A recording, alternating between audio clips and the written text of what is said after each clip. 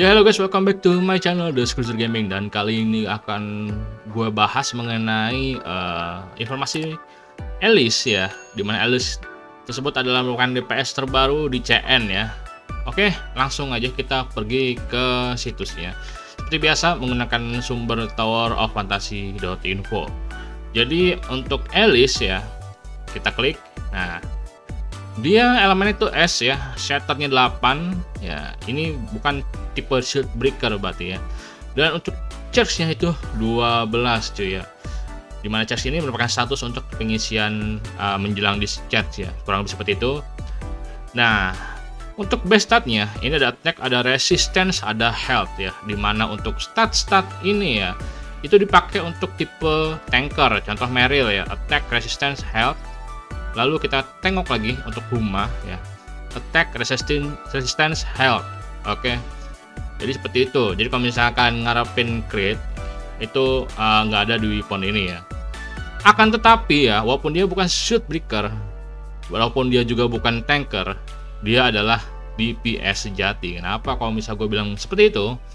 Oke, okay, kita bahas lagi ya. Dia uh, ini weapon X efeknya ya, ice shell. Oke, okay, terus ini uh, frost reaction ini untuk advancement kita akan skip dulu sebentar. Untuk normal attack seperti ini ya. Ini udah ratusan ya. Kita kalau bisa kita lihat. Nah kayak gini ya. Nah yang keistimewaan itu adalah uh, dia terletak di dodge nya oke kita lihat yang pertama ya. Dancer from form dodge plus attack tiga kali itu after a backwards dodge ya setelah dodge itu attack tiga kali ya memicu uh, damage sampai 958% dari attack plus 50 dan ketika melakukan first hit ya itu uh, dia melakukan suspend yang sangat keras ya atau knock up ya bahasanya gitu. Knock up target dengan sangat uh, ini ya uh, strongly ya dengan sangat kuat ya. Jadi seperti itu Terus yang unik lagi adalah terletak di uh, latent configuration ya, di mana ketika misalnya kita hold dots-nya ya, oke, okay. memicu latent configuration ya, uh, konsumsi uh, stamina terus menerus, oke, okay. dan meningkatkan movement speed sebesar 50%. Oke, okay, jadi kalau misalnya kurang lebih gambarannya kalau misalnya kalian bertualang itu uh, kalian mendapatkan semacam buff untuk meningkatkan movement speed ya sebesar 50% itu lumayan oke okay. tapi di samping itu juga kalau misalnya pakai mon juga nggak apa-apa sih ya tergantung cuman kalau ini pakai uh, stamina oke okay.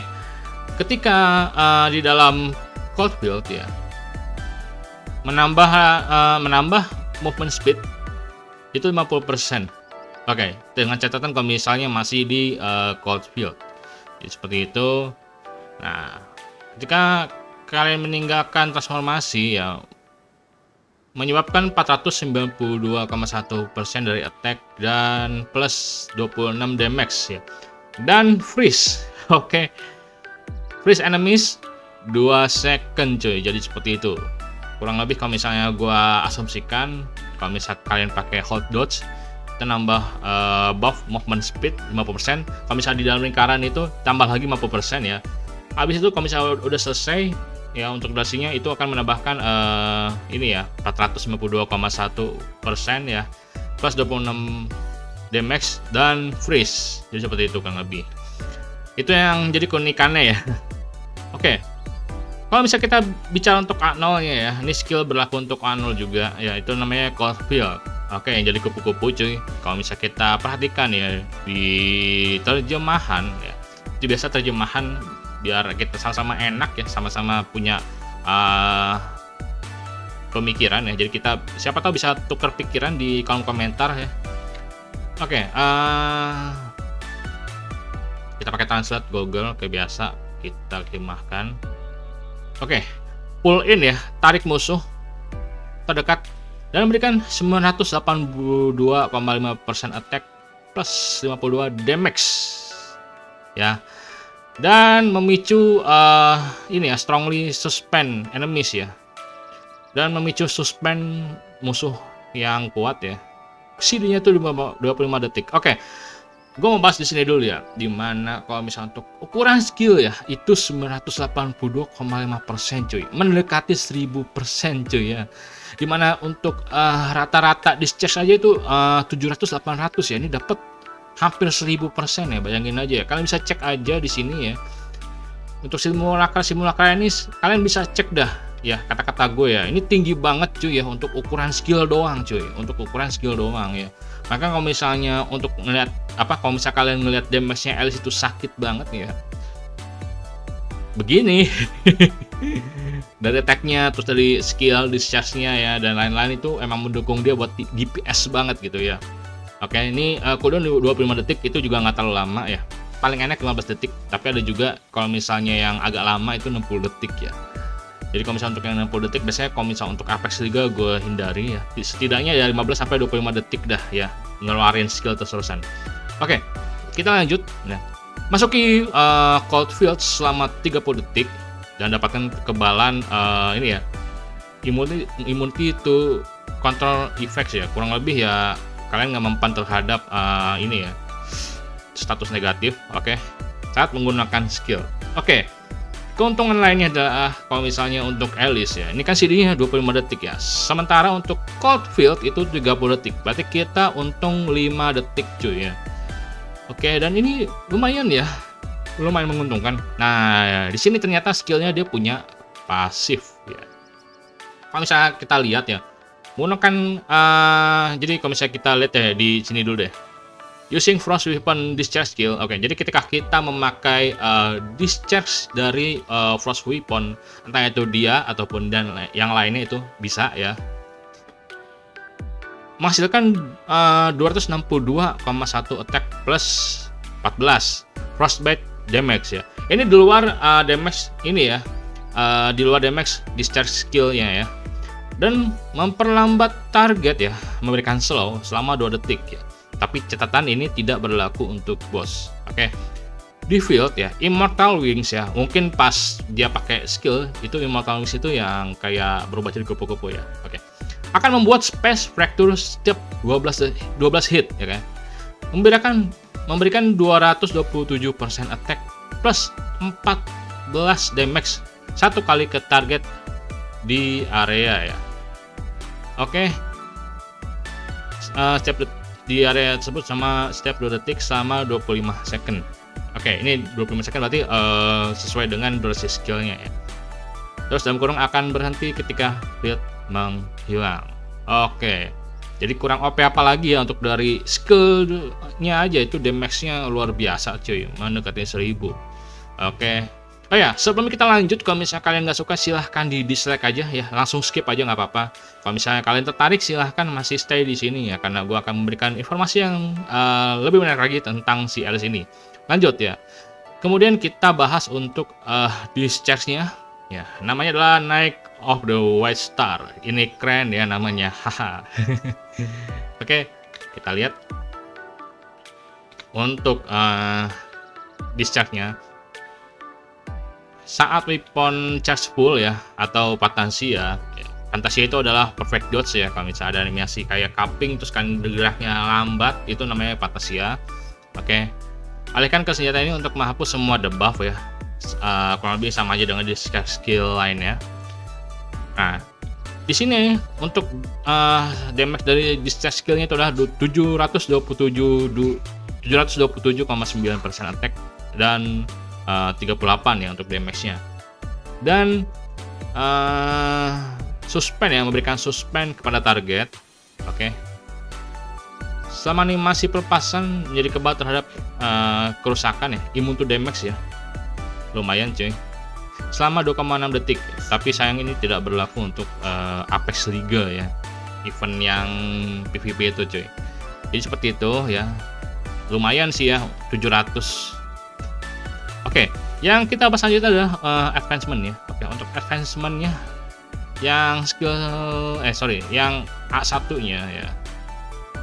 Kita ini dulu copy paste dulu ya, kayak biasa cuy. Oke. Menggunakan uh, skill Frost Weapon saat berada di dalam cold field ya. Ini itu artinya ada kaitan dengan skill. Oke, akan mengaktifkan support Alice. Oke, Alice akan mengeluarkan skill plus pasannya atau atau discharge skillnya. Kemudian uh, skill senjata yang memicu dukungan Alice. Oke, ini akan dianggap menggunakan skill pelepasannya. Oh, dianggap sebagai discharge skill. Oke. Dan uh, triggering effects ya aktif ya. Itu by discharge ya, by discharge. Oke jadi seperti itu nah untuk yang uh, A2 nya itu seperti biasa ya itu uh, menambah attack ya basic attack 16 yang ketiga adalah nah ini A3 oke menggunakan skill cross oh enggak yang ini ya sorry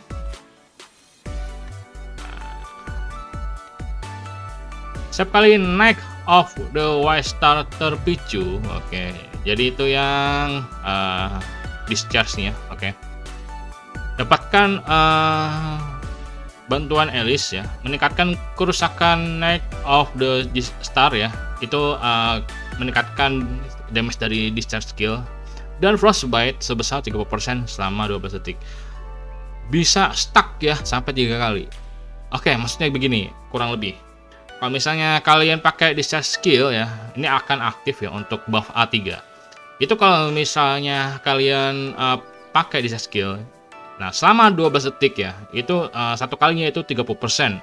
Nah, kalau misalnya 12 detik kalian berhasil mendapatkan uh, tiga kali itu ya, buff, itu berarti selama 12 detik kalian mendapatkan 90%. Oke, ini lumayan banget ya untuk buffnya ya untuk A3.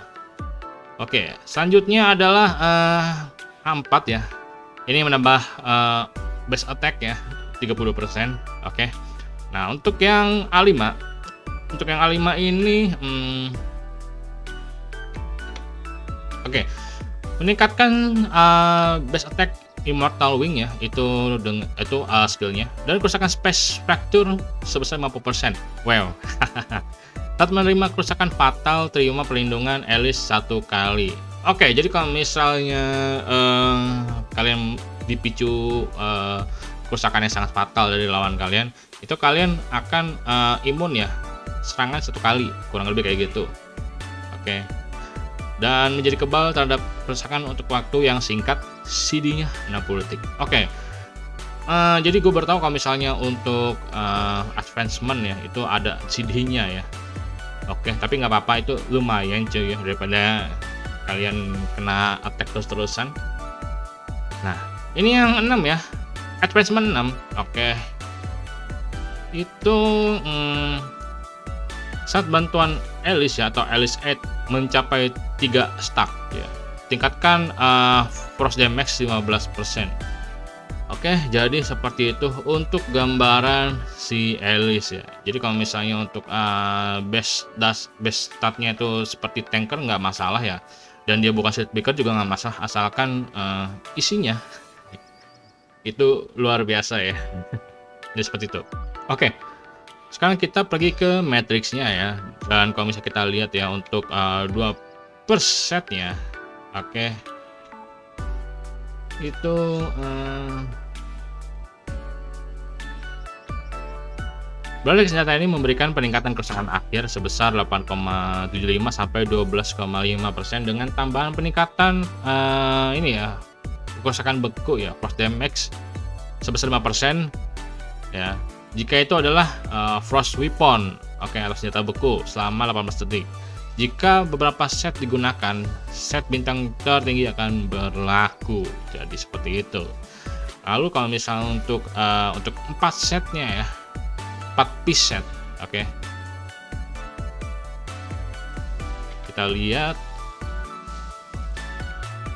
Oke, okay, melepaskan uh, discharge skill ya dengan Immortal Wings. Oke. Okay. Memberikan uh, peningkatan kerusakan dari 12 sampai 17% selama 18 detik. Oke. Okay bisa menumpuk hingga dua kali ya terus uh, kehilangan satu tumpukan saat buff kadaluarsa efek ini bekerja di uh, background oke okay, di latar belakang dan jika beberapa set digunakan set bintang tinggi akan berlaku oke okay. Konsumsi stamina berkurang 50% ya selama subtle formation jadi seperti itu kurang lebih.